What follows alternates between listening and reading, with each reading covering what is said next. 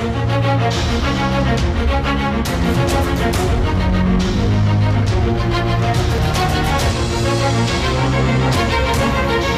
back.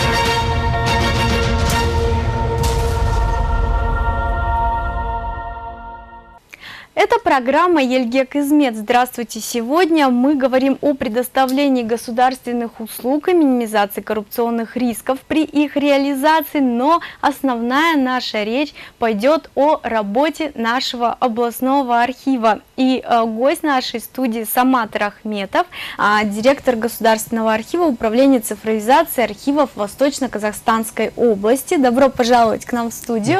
А, уважаемые телезрители, вы можете дозвониться к нам по номеру 52 24 49, чтобы задать интересующие вас вопросы, а также присылать нам свои вопросы на номер WhatsApp плюс 7 3 семерки 235 10 34. Итак, еще раз добро пожаловать к нам в студию. А, Спасибо. Тема а, работы нашего архива всегда была нам интересна, поскольку а, журналисты, как вы сами знаете, всегда любят искать какую-либо информацию, и очень часто нас э, в, в течение да, на, нашей деятельности, нашей работы э, приводит работа к каким-то источникам. Одним из них э, является наш архив. И э, поскольку сейчас очень много различных а, программ, да, в том числе и э, поручение главы государства по реабилитации жертв политических репрессий периода 20-30-х годов,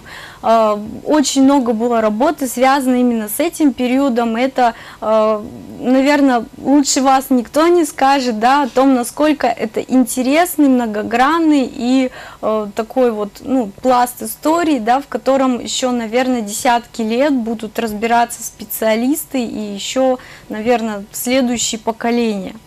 А, но об этом мы чуть позже скажем. Начнем мы э, традиционно, как э, все наши программы Ельгек Измет, мы начинаем с обсуждения а, деятельности госоргана по реализации государственных услуг, поскольку это одно из важнейших направлений на сегодняшний день и минимизации, конечно же, коррупционных рисков. Вот а, расскажите, архив, какие госуслуги реализовывает и, ну, может быть, какие-то были изменения при их реализации и каким образом минимизируются коррупционные риски? Угу. Значит, Государственным архивом Восточно-Казахстанской области оказывается единственная государственная услуга. Это выдача архивных справок, копий архивных документов или же архивных выписок.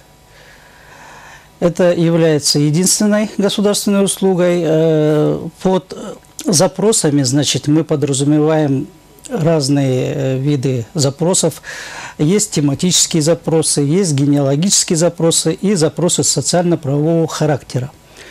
А, большинство запросов – это запросы социально-правового характера. Допустим, если говорить о государственной услуге, то услугополучатели могут а, получить государственную услугу в течение 11 дней – 11 рабочих дней через канцелярию Государственного архива, через некоммерческие акционерные общества правительства для граждан, через веб-портал электронного правительства. Это э, разные виды получения госуслуги. Угу. Ну вот э, мы знаем, да, что вот, как вы сказали, да, разные виды запросов. Вот э, что это за запросы? То есть э, кто-то вот приходит для того, чтобы получить какие-то сведения о том, где он работал, для того, чтобы оформить, допустим, пенсию, да, и так далее. А другие запросы касаются, наверное, уже каких-то иных сведений, как... Да, я сейчас вам объясню. Допустим, тематические запросы, о которых я сказал, это запросы о предоставлении информации по определенной проблеме, угу. допустим, теме, событию, факты, и биография. А, допустим, генеалогический запрос – это запрос о предоставлении информации, необходимой для установления родства, родственных связей угу. двух или более лиц. Ну и запросы социально-правового характера – это подразумевают под собой запросы о подтверждении трудового угу. стажа, подтверждении заработной платы, допустим, подтверждение актов гражданского состояния и так далее. Мгм. Ну, э, насколько мы знаем, это очень популярные услуги, и э, люди приходят а, в архив для того, чтобы вот, э, ну, в основном, да, вот подтвердить, да, какой-то свой стаж, да, и восстановить какие-то документы, которые касаются именно а, вот этой сферы. А как часто приходят а, люди, чтобы восстановить, например, а, ну вот, как вы говорили, да, там генеалогическое древо, например, такое, наверное, довольно редко бывает. Да, не, не часто, но есть э, такие семьи, есть люди, которые Ищут родственников. ищут своих родственников, да, а, ищут свою родословную. Они приходят, могут э, работать у нас в читальном зале. Для этого они заказывают документы, документы им выдаются. Они могут работать на протяжении неограниченного времени. Мгм. Ну и, естественно, если приходит запрос, наши архивисты тоже выполняют эту работу. Мгм.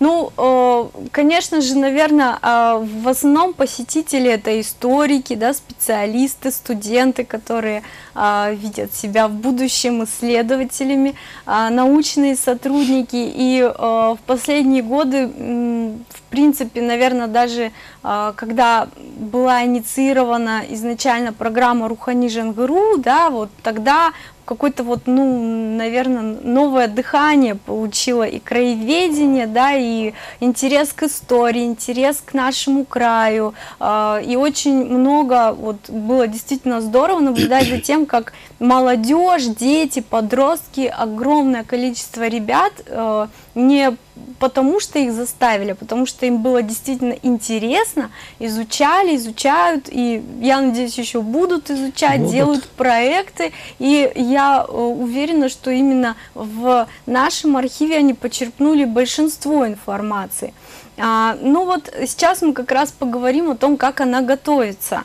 А, вот э, как вообще происходит работа архивиста? То есть, э, допустим, ну вот какой-то проект может быть, или у вас есть какой-то план перспективный на несколько лет, который осуществляют сотрудники. Вот какие сейчас приоритеты в работе? Как вообще проходит э, рабочая деятельность архива? Чем он живет?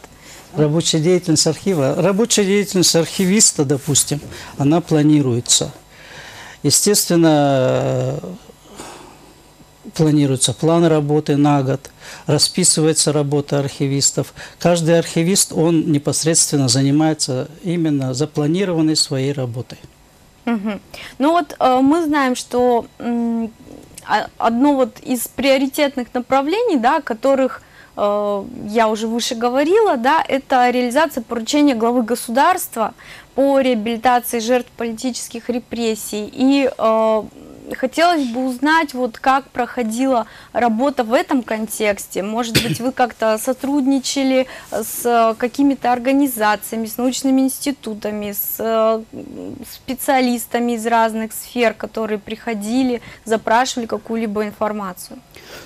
Да, это очень важным шагом в восстановлении исторической справедливости в отношении всех категорий жертв политических репрессий советского периода стал указ президента Республики Казахстан от 24 ноября 2020 года за номером 456, который звучит так.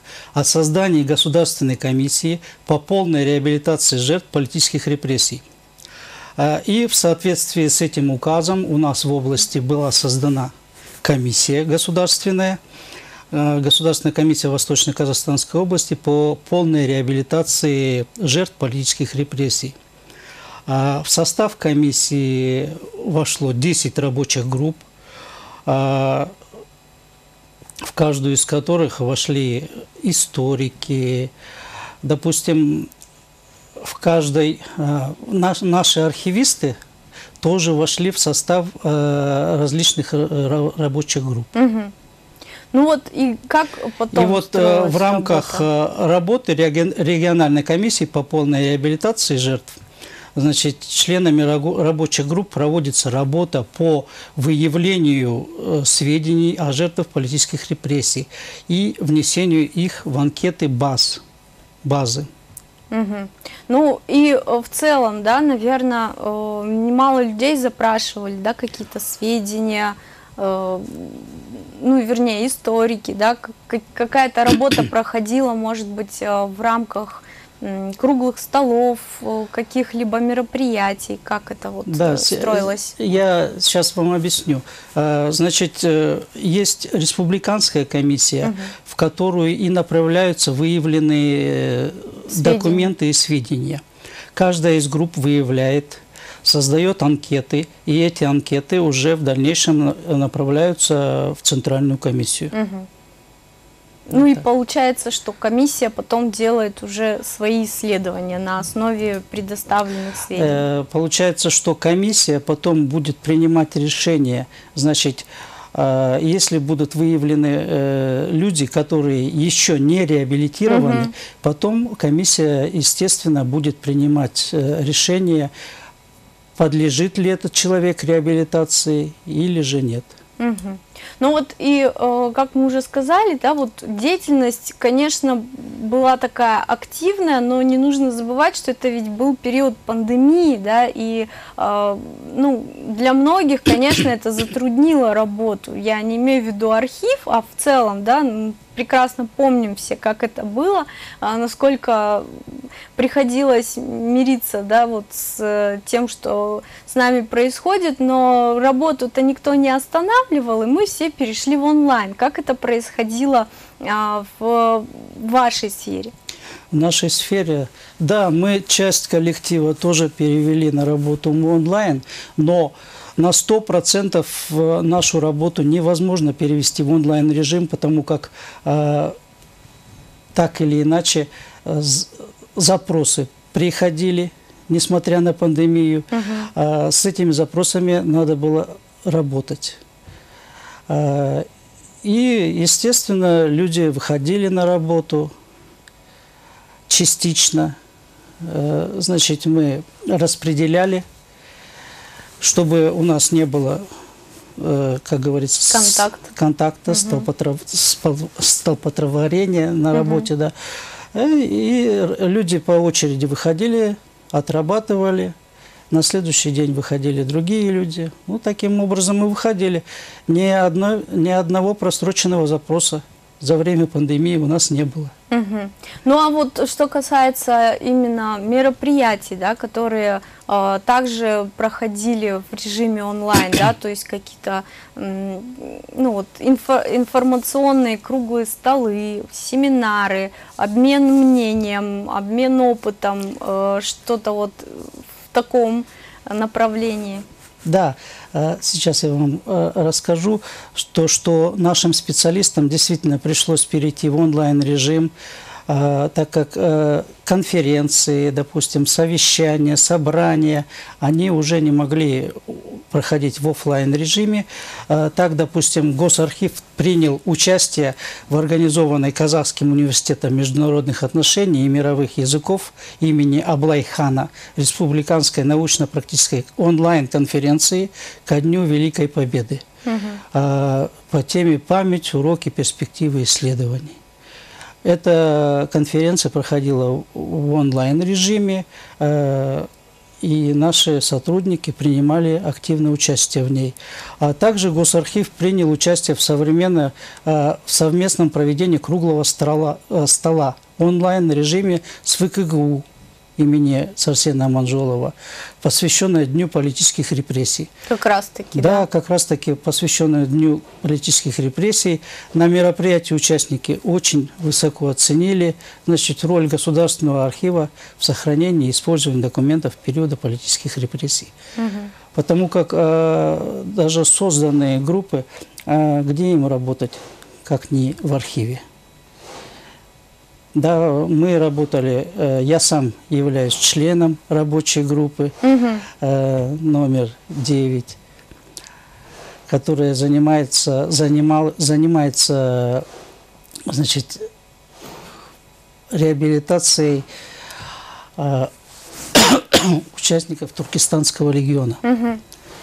Э, Ну, наша работа именно подразумевалось в том, чтобы искать э, участников Туркестанского легиона для того, чтобы впоследствии можно было решить, реабилитировать его или нет. Работа наша заключалась э, в том, что мы искали э, информацию в департаменте полиции. Мгм.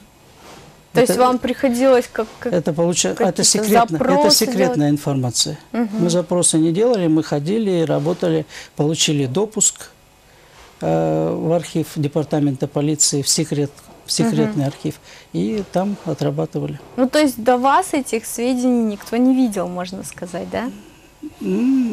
Не то чтобы не видел, э, человек, э, любой человек, допустим, если, бы- если получал допуск к секретной информации, он мог их видеть, да.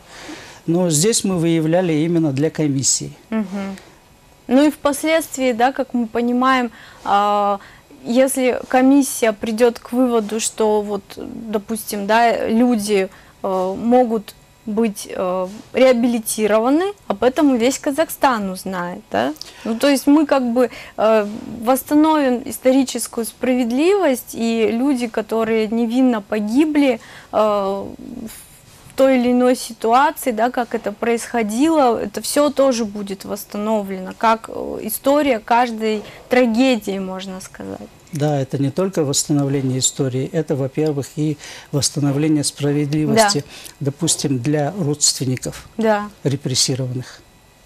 Но это действительно очень э, важный такой вот, ну, я даже не знаю, животрепещущий момент, поскольку когда э, мы вот как журналисты хотя бы чуть-чуть прикоснулись к этой теме, делали тоже немало различных э, фильмов, документальных программ, м, когда мы немножко столкнулись с этим, это было настолько жутко, что под впечатлением ходили очень долгое время. Когда читаешь эти документы, читаешь эти сведения, читаешь э, то, что э, дошло до нас э, благодаря э, людям, да, которые оставили какие-то воспоминания или родственникам, да, э, ну, просто настолько это страшно, что даже в голове не укладывается, как это могло происходить сравнительно недавно на самом деле. И поэтому действительно работа, которая сейчас ведется, она не просто важна, она очень важна. И даже тут как-то слов не находишь, как это описать. Но вот если перейти к э, другой сфере работы, э, хотелось бы узнать, вот вы говорили, да, о круглых столах, о различных э, мероприятиях, о, хотелось бы узнать о том, насколько активно вот именно наверное, с молодежью ведется работа архива, потому что именно э, студенты, да, школьники, это те, кто завтра будет интересоваться э, своими корнями, своими традициями, тем, как, э, как строилась наша жизнь, да, и дальше будут рассказывать уже своим потомкам. И а, именно для них очень интересны выставки. Вот э, проходили ли вот какие-то такие мероприятия? А, Значит, в работу Госархива также входит э, составление выставок. И, естественно, э, эта работа заключается в том, чтобы э, эти выставки пропагандировать. И заинтересовать? Да, заинтересовать. А заинтересовать, во-первых, молодежь. Именно школьников, студентов колледжей, универси- университетов, которые частенько пос- посещают наш читальный зал. И э, наши архивисты э, проводят семинары. Проводят семинары, приглашают учащихся. Э, во время пандемии проводились онлайн-выставки.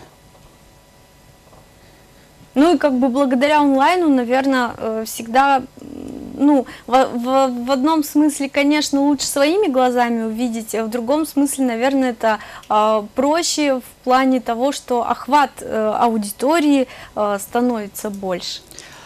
Ну, в онлайн-режиме, да, охват аудитории становится больше, а наши архивисты готовят выставки на двух языках, на казахском и русском, поэтому э, э, приглаш... допустим, когда э, позволяла эпидситуация, мы приглашали э, учащихся первых, вторых курсов колледжей. Они приходили к нам в читальный зал, тут же, значит, ознакомливались с выставками, проводили, проводили с ними лекции.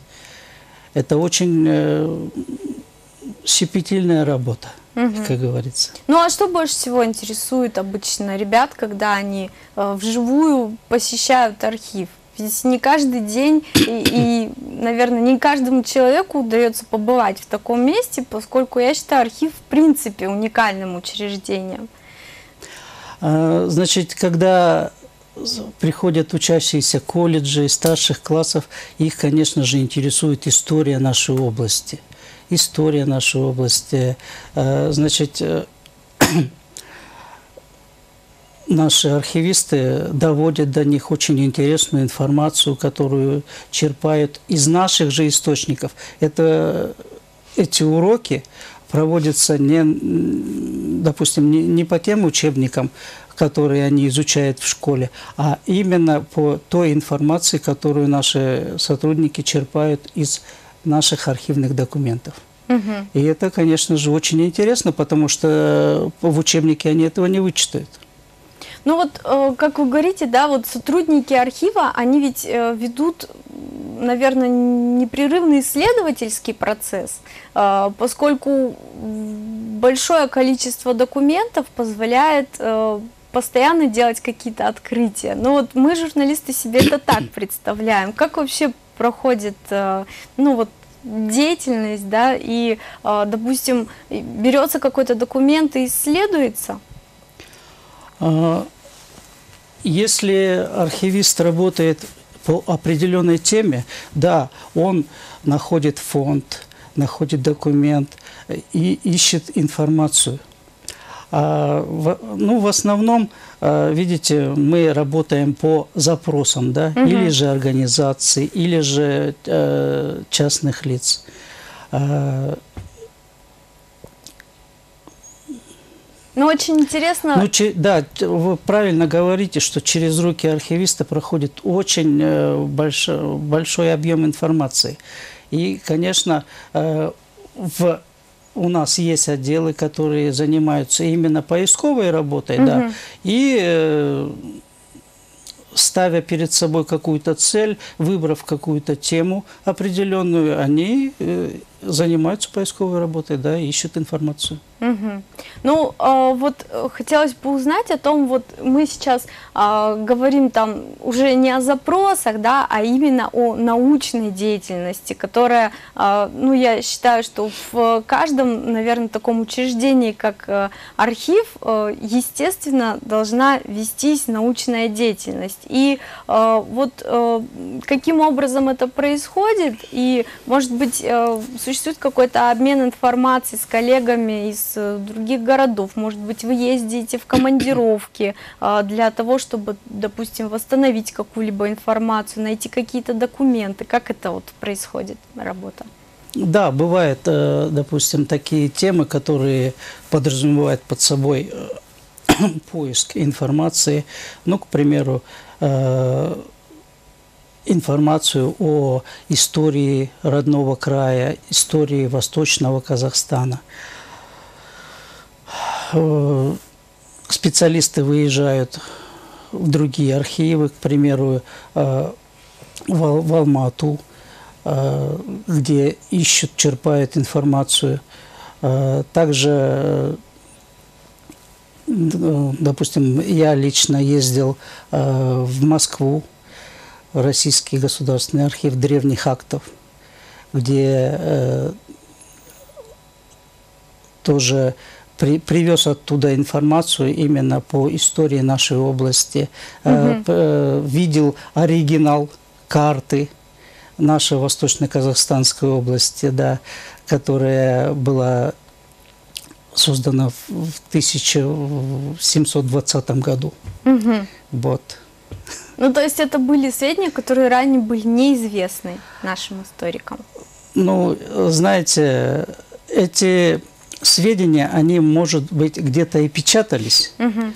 но, допустим, копии оригинала э, в нашем э, карты э, Восточной Казахстанской области до этого момента в нашем архиве не было. Теперь же она есть. Мгм. Теперь у нас э, она включена э, в фонд по истории Восточной Казахстанской области. Мгм.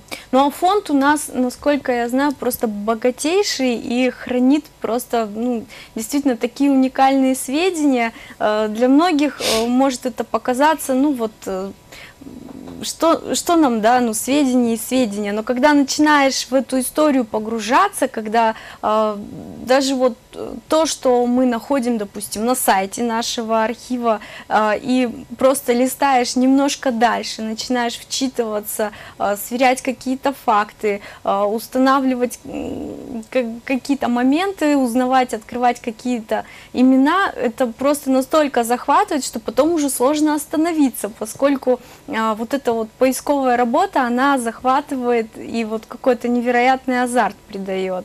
И э, я думаю, что, ну, наверное, каждый человек, который связан с миром истории, так или иначе вот этот азарт испытывает когда свои исследования проводит.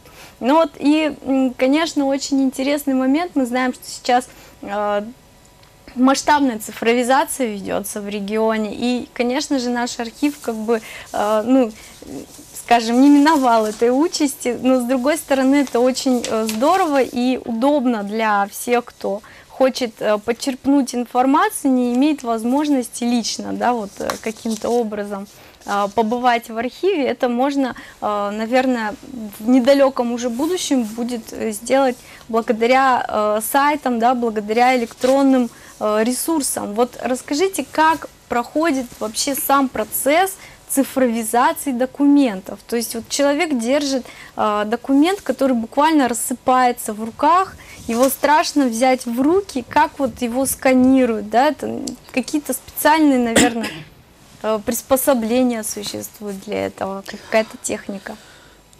Да, сканирование документов – это очень такой э, щепетильный щепетильная работа, потому что вы знаете, что в первую очередь э, сканированию под сканирование идут документы, которые уже устарели. Э, и, значит, для этого у нас есть отдел, информационный отдел, который занимается вот, оцифровкой документов. Э, Документ, э, прежде чем сканировать, его обрабатывают. Допустим, э, на, и, на технике он, значит, обрезается, регулируется яркость, контрастность, проводится нумерация этого листа. Э, И э, затем уже отсканированный документ, он э, хранится в электронном виде уже на нашем сервере. У нас есть большой сервер, на котором хранятся все отсканированные документы. Вот, допустим, в Госархиве области и его филиалах, допустим, находится э, на хранении миллион четыреста девяносто девять тысяч семьсот пятьдесят шесть единиц хра- хранения. Э, Из них в бумажном виде миллион четыреста восемьдесят три тысячи семьсот сорок четыре единицы хранения. Я даже не могу Вы представьте себе, как какой это огромный массив документов. И постепенно э, эти документы будут э, сканироваться и храниться в электронном виде. Ну, то есть э, мы же говорим, да, о том, что э, в скором времени мы все постепенно придем к электронным ресурсам, да, к тому, что все будет в цифре, все данные можно будет найти, но от этого, я думаю, не потеряет своей уникальности и, э, ну, вот какой-то сакральности книги, например, да, которым 200-300 лет, э, 400 лет, и они будут еще более ценными, потому что они останутся буквально вот в единственном экземпляре. Знаете, документы в бумажном виде, они никогда не потеряют своей уникальности. Да, перевод э, в электронный вид – это хорошо, это э, значит, э, веяние нового времени, но документ есть документ. К сожалению, Оригинал. время нашего эфира подошло к концу. Спасибо вам большое а, за то, что пришли к нам сегодня. Спасибо. Спасибо, что были с нами. До новых встреч в эфире.